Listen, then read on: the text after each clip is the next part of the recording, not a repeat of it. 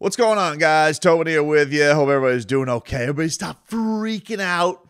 We can uh we can calm down, right, and realize it's just one of 82. Of course we can. We gotta overreact to everything. But uh, uh the Miami Heat, they opened up their season with a loss to the Chicago Bulls. A really like just lackluster game from uh from the time midway through the first quarter. Uh, I mean, the Heat really came out guns blazing in this game, especially Tyler Herro. He was looking fantastic in that starting lineup. You know, was hitting everything from downtown. So you just you were like, all right, things are off to uh, a pretty rocking start here, and then it just uh, it kind of just unraveled from there. Just couldn't get the uh, the stops that you needed, and were you know outscored in the second and third quarter pretty handily. And that was just it. They just never could really get back out of the mud in this game. And a couple of weird things that were, you know, I don't think are going to be common traits for him. One was one of the worst times I've ever seen Bam play. I mean, I I can't recall seeing many basketball games where you see him miss you know, I've seen Bam miss shots before, but the the bunnies that he was missing, it was crazy. I mean, it was like point blank right there. Missed a dunk, missed a little uh, drop in, missed a little layup right here, like just point blank. And I think he started the night. I think it was like 0 for 9 or something like that. It was uh, it was a crazy start. And at one point, he just took the ball like full court because he just kept missing these shots point blank and just literally took the ball full court and dunked it on the Bulls just to try and get out of this funk that he was in. But it was very clearly like just having an effect on the rest of his game. I don't know what what it was making him uncomfortable. We saw mistakes from him where like he was getting fouled on screens. You're talking about one of the best screeners in the league. Um, he was tossing the ball into the stands. Just just an odd odd game for Bam Adebayo to start off his 2022-2023 season. Just and I, I do feel like it, it, it, really had an effect because then he got in foul trouble in the second half, and you had to bring in Dedmon, who was already in foul trouble. Um, just made things a little bit clunky. Then I think the Heat probably would want to, you know, stagger their guys and things like that. Um, and the Bulls, you know, they got a couple of big performances that really swung this game. And one of them happened to be uh, an adorable Slovenian point guard assassin who came in there and started just hitting threes from wherever he wanted to. And I got to say that was the lone positive of the day was seeing Goran Dragic because first of all, one his face. How do you not like seeing that smiling face all over FTX Arena? Dude was giving handshakes and hugs all over the place. I miss him so much. I really, you know, there it's not D Wade level, obviously, of breaking your heart because he's on another team. Because, you know, Goran was drafted by the Heat and he's not like a three time champion, but he is beloved. I mean, if if Goran Dragic isn't like in your top 10 of beloved Miami Heat players, I don't know what you're doing. And I think for me, it's even higher than that. Um, but he, uh, you know, handshakes and hugs all around. I did have to pay off you know my my dragon debt. But you know what? It ended up being worth it because i felt like in, instead of paying a bet it felt more like I ended up honoring him and genuinely welcoming home. I got like a, a repost on social media from him uh, from instagram and a retweet. He seemed to dig it. Everybody did because i think he saw how much people miss him. I think he got to see probably how much people wish the dragon was still in his lair. And uh, even like you know got a little got a little chuckle out of him in the uh, in the pregame shoot around. What's up, Dragon? well, I like you let the costume go, So that was fun. I really enjoyed that. Boots on the ground.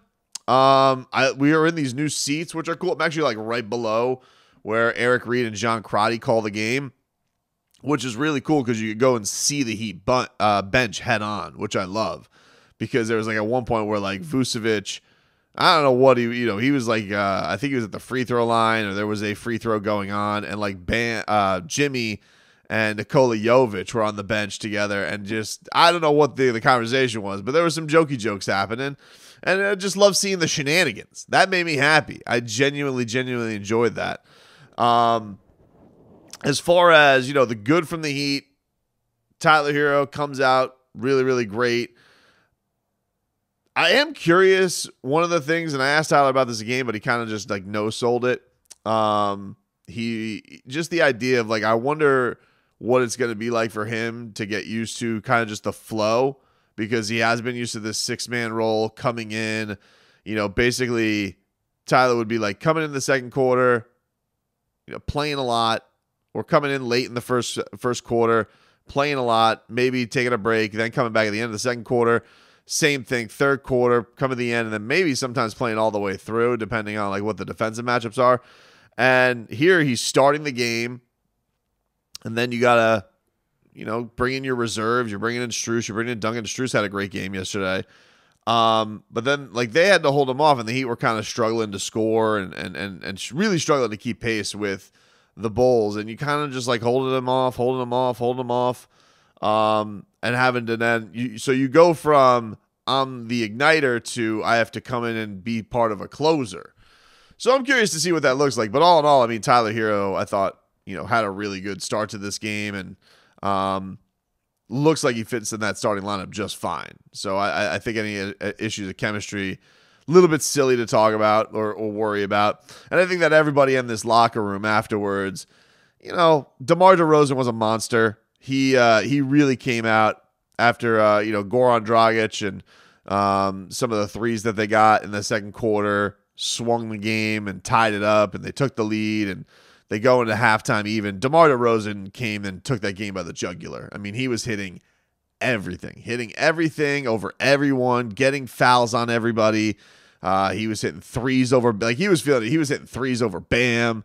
DeMar DeRozan was uh, the star of the game by a long shot. He was amazing. Um, asked Jimmy Butler uh, about this after the game, and you know he gives a nod. You know his the Demar Goran, his his very good friends, and you know he acknowledges they got him these matchups against guys you're close with, Goran, DeRozan? Like, do you enjoy those matchups more? Are they kind of weird because you know these guys no, so well? I enjoy every matchup. Any opportunity I get to play against some of the best players in this league, I look forward to it. Um, those are my brothers. Um, they got me one time, but we can't let it happen again. But most of the Heat guys are saying like this was a defensive issue. Uh, this was not uh, offense, including Erik Spoelstra. The game you guys keep on talking out. about uh, offense. I mean, we're we're just giving up like crazy amounts of uh, of easy baskets and, and things that um, you know we'll have to clean up defensively just to get back to our identity. Um, and then you know the turnovers in the second half. It's it's tough to get in any kind of rhythm when you're not getting stops and you're turning the ball over. So I, I don't know. I'll have to look, but you know that that tends to lead to uh, frustration um, when you're not doing either either of those things well, taking care of the ball or defending. And Tyler Herro echoed those sentiments offense isn't the problem. Um, you know, we can score with anybody. Uh, we've got a bunch of guys who can, uh, you know, affect the game on that side of the floor. Um, you know, defense is where we're going to hang our hat, um, especially down the stretch. So we'll have to we'll watch film and get better from, from it today. Just as far as Bam's concerned, uh, this was him after the game discussing the idea of, you know, just kind of missing shots he makes all the time and and and what that turned into game of inches. I mean, that's that's basically how you got to look at it. Uh, you definitely have a either positive outcome on this. Um, you know, I miss shots that you know I make every day in practice, every day in shoot around, um, and they were off by inches. Uh, so I mean, it was one of those games where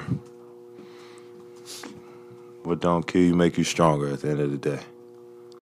I would say probably out of everybody, the thing I saw most people freaking out about afterwards, and it was very obvious to the eyes, was the game of Kyle Lowry. And I do think that Kyle has like, uh, um, you know, for as established as he is and as proven as he is, you know, to the Heat fans, he's he still has some proving to do. You know, he had some really good moments and was especially key when guys were out last year, and so it was a big part of the Heat having the best record in the East last year but between the injuries and, uh, that he had to deal with, and you know the personal stuff that we don't really have a lot of uh, knowledge of, you know he's had some adversity to go through in his Heat career, and I think that this start, you know, he it, it's still that thing of I don't know when he feels the the green light to go and and and to find his own rhythm in a game because I do think that's important. I think that as great as it is to be unselfish and to try and get everybody involved and, and to get everybody and, and certainly he tried to get Bam a couple and you know maybe the game looks a little bit better if those are converted, but it, it was it was just one of those games where he and Bam just felt like they were playing in the mud and and just couldn't get going or just weren't being able to do what they needed to do in this one. And for Kyle, everybody's freaking out. They're ready to be rats off a ship on him. The one thing that had me concerned, it looked like he was uh he get he he uh looked like he was he took a shot when he was trying to go, guard Goran on a layup and uh hopefully that's nothing that lingers too much. That always worries you that he maybe took some shot to the quad or to the knee or something like that. But you know, I don't know what you do there. I don't know what you do as far as Kyle Lowry's aggression or what those speeds are. We see that last year he was very deliberate in the pocket of the season where he really upped his scoring. Um, and I do think that you'd kind of like to see that come along faster this year and to see that he has that determination to, to go after things. But yeah, I think Heat fans seeing what Goran did, Goran had a really nice first half, especially. He lit it up very emotional to see him there again. Um, and you see the guy that you traded him for essentially with Precious Achiuwa, and he was stinking up the joint yesterday. That always will add on top of the fact of a of a of a clunky, not great performance from him. But you know, the one thing with this Heat team and the NBA season, this is going to start fast and furious. You know, you got another game turnaround, Celtics right away, a back to back with the Raptors, and then the Raptors again before you go out to the West Coast. So there's some good challenges. I think the thing that's probably disappointed a lot of Heat fans is this is looked upon as probably the easiest challenge because they didn't have Zach LaVine, no Lonzo Ball. This is uh, pretty much DeMar DeRozan's show, and you really got uh, you really got handled by them in the second half, especially DeRozan. He went supernova on you. Um, you know, 37 points, six rebounds, nine assists. You know, just a super efficient game from him. And then for your standpoint, you just had nobody really have that monster, monster performance. Jimmy had 24 points, got to the free throw line 16 times yesterday. 16 times. And to me, that's awesome. That's his superpower. But 16 times getting to the free throw line and he just he took some hard hard shots hard shots early on in that game and that's the one thing i think you'll worry about for jimmy is is coming into this and and you're like, man, can anybody just kind of buoy him so he can get to the you know Jimmy's gonna probably miss his 20 games. That's that's gonna be the case, but you know, he was he was really attacking the holy hell out of the uh the rim and it just wasn't there for him. And you know, for him yesterday, he was 24 points, 8 rebounds, you know, one steal, one block. Um you know, the the and, and I think that the you know he could have uh, he definitely could have used a little bit of uh, could have used a little bit of help from that second quarter on because you know Tyler came out really really great. He hit his first I think four three pointers, didn't hit one the rest of the night. Finished with 23 points, but you know Max Strus was good. Max Strus had a good game. Dewayne Dedmon in the minutes that he played, he did get into foul trouble, but I thought that you know he did pretty fine on the offensive end of this thing. But again, they were everybody to a man in that team was saying that offense wasn't the issue yesterday, that it was a defensive issue, and hard to argue. You know, they uh they, that that was a uh that was tough that they couldn't get the key stops. Like I think they got to within like six once in that second half after the Bulls took the lead. Um and it was you know they just never could get those back to back stops. They would get like a turnover, and then there would be a foul or something like that. So back at it, you know it'll be uh, it'll be interesting to see if they can uh, right the ship right away and get themselves right as the Celtics roll into town.